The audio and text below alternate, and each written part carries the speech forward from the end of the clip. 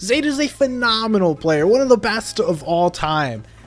His footprint will be left on this game forever. And not only did he absolutely dominate tournaments, but he set up an ecosystem within NA East to develop players and allow them a system to thrive and practice within. Welcome to another Fortnite Legends series. This one goes out to you, Zayt. I believe Zayt and Saf just had the comeback victory of the century in this on the final tick of HP. Summer Skirmish put Zayt on the map back in July of 2018. Him and Saf, his partner in crime through it all, won the third week of Summer Skirmish and picked themselves up a nice bag, but more importantly, proved that Zayt was here to stay. He was a real competitive player and going to dominate for years to come. That was unbelievable. Zayt competed and succeeded in several other tournaments that year, including the rest of the Summer Skirmish, a DreamHack out in Montreal, and then he even got invited to the Secret Skirmish as well as the Fall Skirmish. But the big win for Zayt comes in Katowice. Zayt and Saf, his partner in crime, got up to a huge lead in Katowice and wound up going and taking the L out in the open, and I'm sure you guys have all seen it. Zayt is in the open, taking the L. Zayt knew he had already won the tournament, so he had to go out and assert his dominance on the rest of the lobby, and much like the rest of his career, he continued to do that. Earlier in Katowice, Zayt made one of the most phenomenal plays to rift his opponents, put them in storm, and allow Saf to out heal them. This, at the time, was one of the smartest plays ever seen in Fortnite history, and Zayt had already thought of this. He prepared for this and was ready to come at you with a Rift play if it went to heal off. The one we got 11 kill where I uh, used my Rift to go, uh, that was awesome. And after that, we just did the math and uh, yeah, we, I did the math and I knew I was we, we won basically.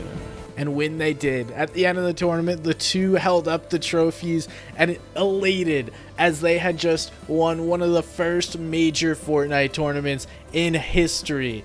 This set the tone for Zayt and Saf to become one of the best duos of all time, if not the best, and they continued their run for many years to come. The next tournament came World Cup. Zayt double qualified, meaning he was a solo, but also a duo with his partner in crime, Saf. Zayt went on to place middling in solos, but it was the duos that captured everyone's attention. In typical Zayt fashion, him and Saf went on to win the first match and take the lead in World Cup, one of the biggest stages we have ever seen in Fortnite and in all of esports, not just Fortnite. These two were ready to play and showed up for World Cup. They had an impressive run in World Cup, holding the lead for the first four matches and even had a one point lead going into the final match. Unfortunately for those two, they stumbled and fell within the last two games, which allowed Aqua and Nyhrox to take the lead. And not only did Zayt and Saf fall, but they fell down to fourth. Still quite the impressive feat for this duo. It was at this time where people really started to turn their heads and wonder, okay, are these the best we've ever seen? Are Zay and Saf truly the best duo in the world? After World Cup came trios, then squads. Zay placed fourth in both of them. And for him, that was honestly unimpressive. People expected better. Fourth was too low for a player of his caliber. Next up came duos, and Zay and Saf once again were able to prove that they were the best duo in the world.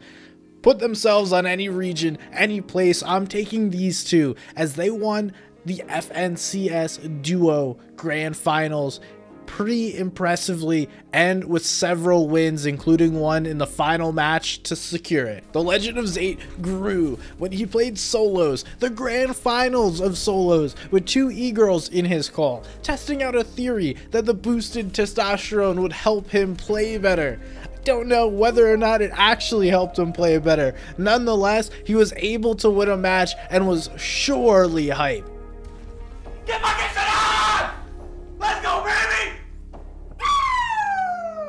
The game mode moved to trios. Zayt and Saf stuck together, and they added Stretch, another qualified player, an amazing player in his own. These three went on to play impressively well, not able to put it together and win a grand finals tournament, but eighth and fourth in their two trios grand finals together, including one of the best wins of all time, watching them win a reboot round to qualify. Let's That's what I'm talking about!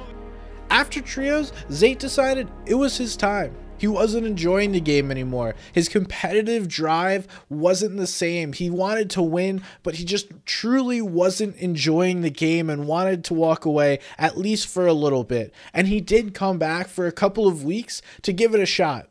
But that didn't last very long. Since then, he's remained retired on the sidelines and one of the most respectable players. And now, who knows what's next for Zayt? Before you guys freak out, I'm not leaving NRG. I'm staying the Fortnite team. Uh, I'm gonna keep hosting Elite, Precord, all that stuff. Like I'm gonna be there every day. I'm gonna host every day. I'm gonna post code every day. I'm gonna kick players that needs to be kicked and all that stuff. But uh, what I'm gonna be doing feels really weird to say, especially coming from someone like me. Uh, is I'm gonna be uh, I'm gonna stop competing in Fortnite. So I'm gonna stop playing tournaments. I'm gonna stop playing scrims. Clearly, that decision wasn't easy for Zayt. It was respectable. He didn't have much left to prove within the game of Fortnite. He kind of won everything and was at the best since the beginning. He was hard to beat, regardless of what tournament, what style was going on. And not to forget, Zayt also hosted and ran Prac for pros for the entirety that he was in the scene. Regardless of what you think of him as a player, one of the best, he also deserves respect for hosting and allowing players to practice consistently at a high level. That deserves respect. No, no, no. That garners respect. And he took it, but now it's time for him to walk away. Clearly, he's enjoying doing other things. Maybe one day we will see a return of Zayt, a duo tournament that brings him back together with Saf. For now, it's only questions. Hopefully, one day we will see the return. But forever, he will remain a legend.